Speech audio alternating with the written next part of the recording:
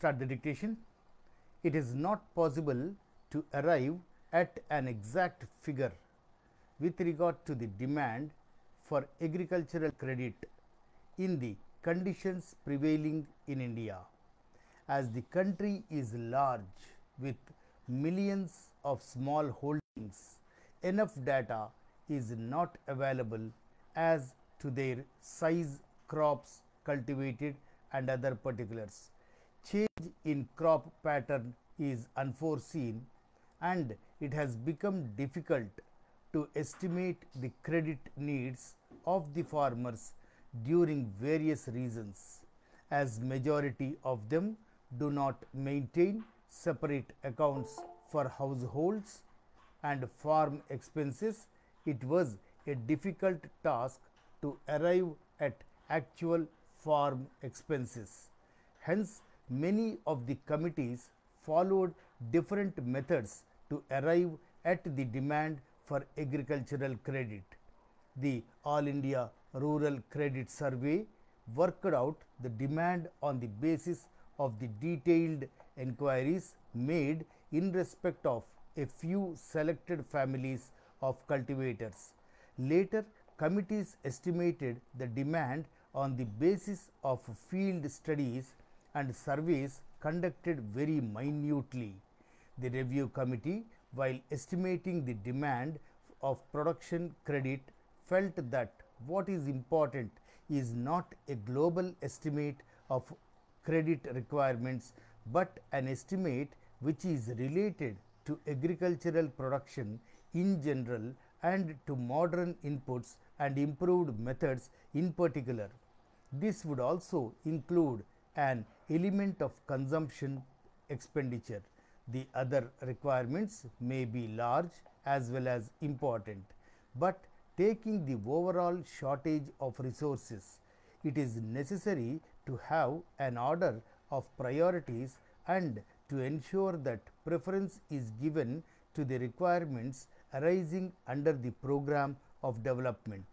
There are so many problems and variables involved in an exercise of this nature that the smaller the area for which an estimate is attempted, the more meaningful and useful it is likely to be. The conditions not only differ from state to state and area to area, but data also is not available in requisite detail. Realistic assumptions can therefore be made only for such areas. The speed at which the agricultural programs gather momentum cannot be forecast with any reasonable degree of certainty as that would depend partly on the impact of the inputs and new techniques and partly on the degree of success achieved in making necessary organizational arrange, arrangements. There are also natural factors such as rainfall which cannot be foreseen. If the program for high yielding varieties justifies on terms of substantially increased production, the resources of those who raise the varieties may be expected to increase sufficiently from year to year to lead to a progressive reduction in the dependence of borrowings. Production credit requirements may nevertheless continue to be high if larger incomes are not used for current production outlays. As between different class of farmers, the larger the cultivator, the more his need for credit occasioned by use of modern inputs. It is not therefore unreasonable to assure that there is a section belonging to higher level which requires to borrow mainly in kind or for the purchase of fertilizers and pesticides. The demand for credit for cash outlays for traditional inputs and for maintenance is likely to be proportionately more significant as the size of holding declines. During the beginning of the plan, the cooperatives were given importance to provide farm finance and they were expected to meet the entire credit needs of the farmers because the cooperatives have certain advantages over the other agencies, especially commercial banks.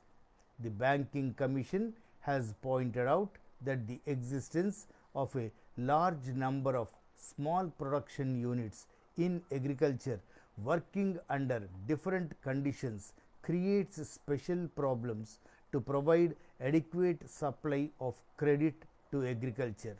It is therefore necessary in the first place that the outlets through which credit is provided to the units should be spread over widely in such a way that they are within a convenient distance of the production units.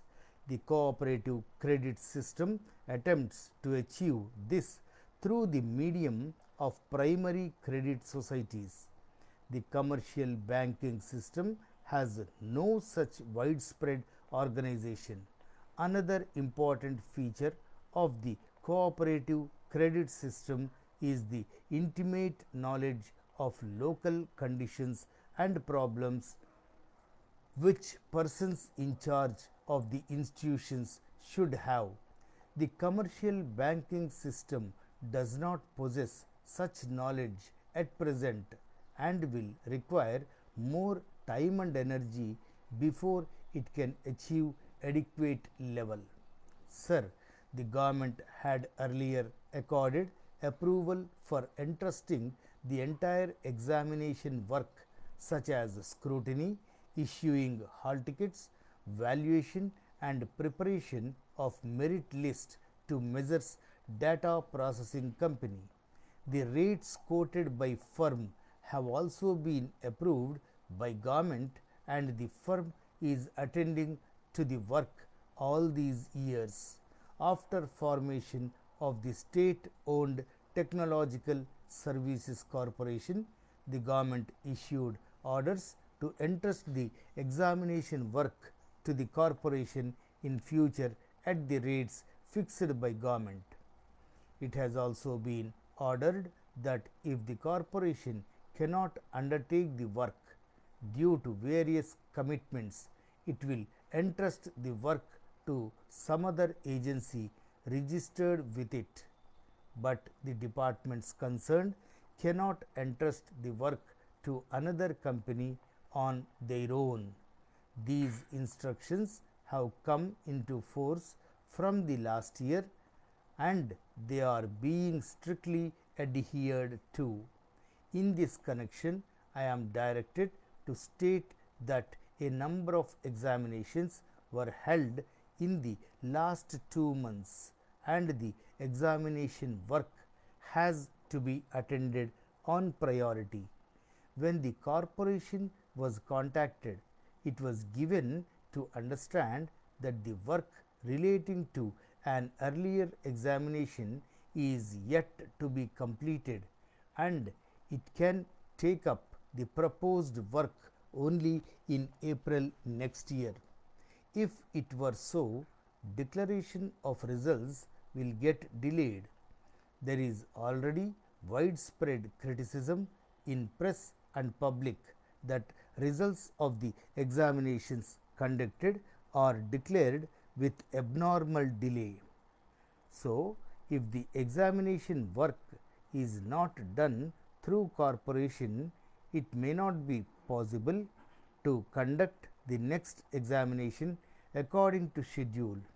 It is therefore suggested that government may consider revised orders for entrusting the examination work to Messrs Data Processing Limited whose rates are lower when compared with the rates being paid to the corporation.